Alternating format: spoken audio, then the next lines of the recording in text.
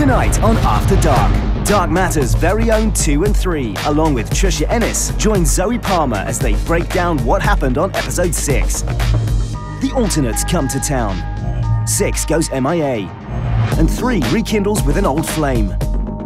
Plus, a sneak peek at a clip from next week's episode. So don't get spaced. After Dark starts right now.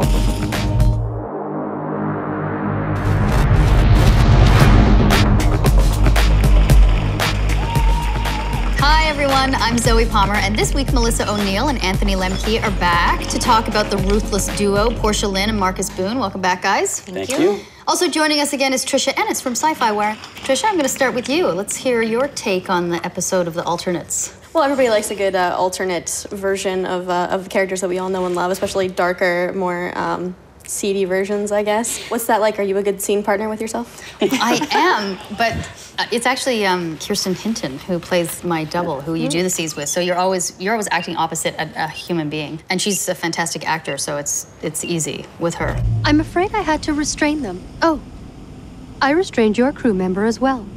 I also found it necessary to gag him. Understandable. Yeah. Yeah. Who was your person? A tennis ball. You had a tennis ball? Yeah, we we got to act opposite tennis balls. Clearly, there's Tennis something in your contract that we don't have. I in get ours. humans, yeah. yeah. you Yeah, get no, humans, we don't. get You tennis don't. balls. We don't get. Which is ironic since I play, you know, an android. Yeah. Yeah. So, on the first episode of After Dark, we spoke with Joe about the theme of redemption and identity. How do the alternate characters' identities fit into that theme? I like to think that their story purpose in the context of dark matter helps to illustrate identity in that those those two, three, six, four, like they were all certain people that made decisions based off of that start moment from when they regain their consciousness. And to see who these people were prior to that really helps to differentiate. Okay, so are we destined to repeat the same things? Are, are, are we actually just meant to be who we're meant to be? Or given different circumstances and different surrounding people, can we change? You also have to want to be redeemed if you are going to. Yeah.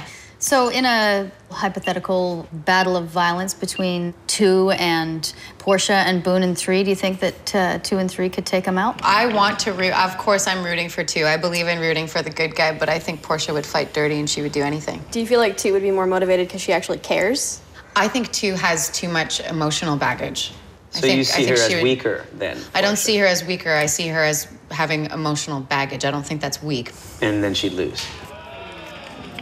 Maybe. Potentially, that doesn't um, make you weak. she's Trying to get at the essence of what we're.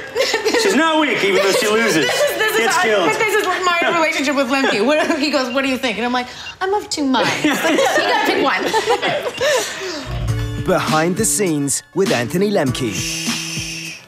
Those of you who remember season one will remember this space. Come on down here, you'll see these massive doors at the end. These were the vault doors. That's it. I think that's as open as they're gonna get.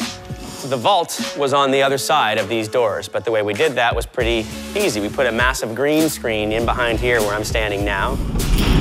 And then we flipped it all around and created the vault inside this room. So both the vault and the exterior of the vault are actually the same room. If we get to a season four, I think this will be repurposed. So watch out for that in season four, and then you'll know. You'll say, oh, that's what happened to the underbelly. It turned into that set.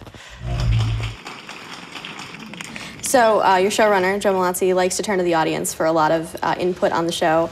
And I'm wondering, like, working through that creative process, do you guys get a lot of input into your characters? Well, early on in the first season, it would it seemed that the input that I got into my character was "you're an ass," generally speaking. Um, and then episode seven came along, and I was less of an ass. So obviously, uh, somebody listened, and uh, it worked. One of the things that he taught me this season was about how you can you can plant seeds with anybody who's writing a script really because they they have their ideas and they have the structure of what they're going to be running with but every once in a while there's like a little nugget they're like that's actually not a bad idea uh, we'll use it You will, like, absolutely Yeah. put it in. I've rarely worked in a show that's as collaborative as this, and I think you know all working on the same page to create a better show. So, uh, but that starts with an openness from up top.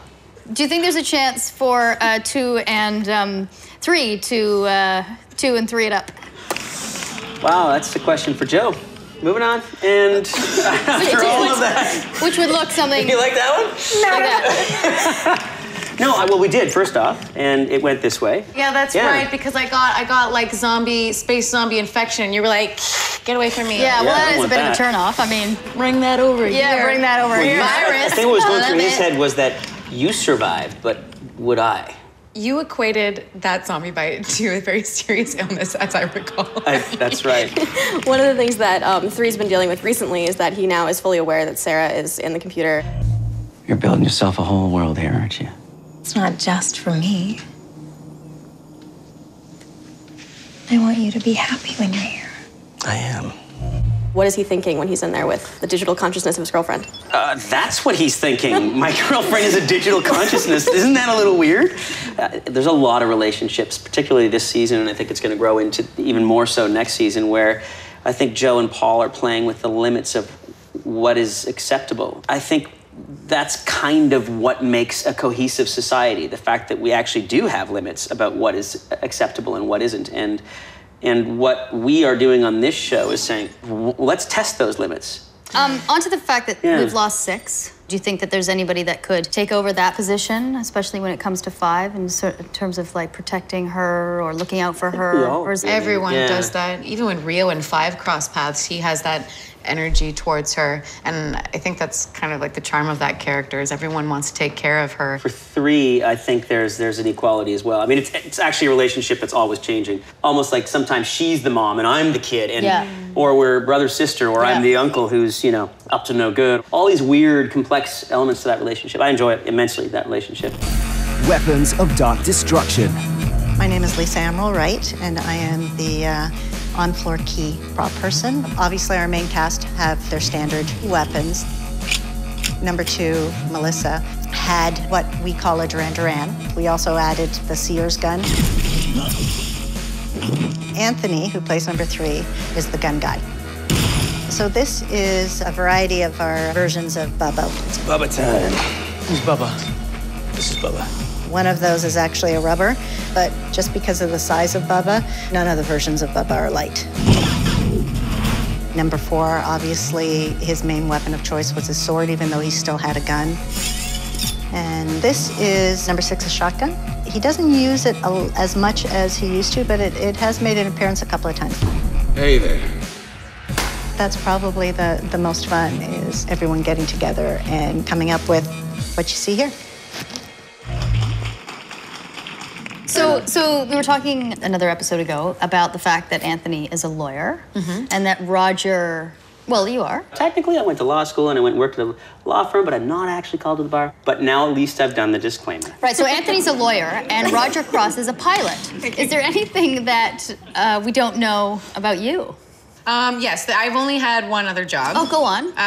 um, um, and and that is uh, singing and doing musical theater. Ten. Oh God, it's all coming back to me. You won Canadian Idol. Oh, hey, oh, hey, oh. Yeah, there we go. Yeah, the very first one, right? No, No, it the was the one? it was the third one, Third and that one. is a healthy twelve years ago now. And then, uh, you know, I have to bring this up only because there was much debate about it. The kiss between Nyx and Oh, right. Ghost Nyx, I should There say. was much. Ghost Apparently Nyx. it's- Hang on. And Okay. he's already he's already I'm there. raring to go. I'm reliving "I it. can't She's even like, get it out of "Ah, my mouth." I'm He's ready. like, The girls kiss "So each other in reps ready." all the time. So there's a kiss between the two of you, and the conversation is what what essentially was that? To me, as two is losing consciousness, she's losing oxygen, she's she's hallucinating. And when she leans in for a kiss, I mean, I think that it was ambiguous enough that we can either assume that it was romantic, but in, in my heart, it was it was a goodbye between friends. And um, I think everyone has had that goodbye kiss before, and it can happen on the lips. Hang on. How many times have you kissed your friends on the lips? Well, in university, quite a bit. there it but- is. There but it the is. point is- you have to weigh in on this I one as someone who's not an actor. Okay, for what it's worth, When you saw the scene, I was anticipating the moment. ooh, you were. Yes. You were anticipating yeah, it. No, I kind of assumed it was going to happen. I actually do agree with them that it wasn't romantic. That it was sort Could've of. been. It was sort of Wasn't. two taking some sort of strength from Nyx as a person. That said, I did ship it, so I understand that people might want to read more into that, and I would love to see a same-sex relationship on the show. So, it's so Nice. great. Yeah. Okay, that's all we have time for tonight. Now here's an exclusive sneak peek at next week's Dark Matter episode. Maybe you're not so different now. I mean, you're still obsessed with doing the right thing, and you're pretty bad at weighing the costs. To us, to your family, to the outer colonies that declared their independence. Time's running out for them. You think I don't know that? I want to warn them, but I can't. Like hell, you can't. There's a no-go directive in place. Screw the directives. Listen to yourself. You're sitting there, you're belly aching about all the mistakes you've made, how you want to take them all back. How about just making the right call in the first place? This is the right call. Is that what you thought when you turned your back on us? Thanks everyone for watching. If you want more, check out your local sci-fi website. Thanks to Melissa and Anthony and Tricia for joining and having some fun. See you next time after dark. Bye.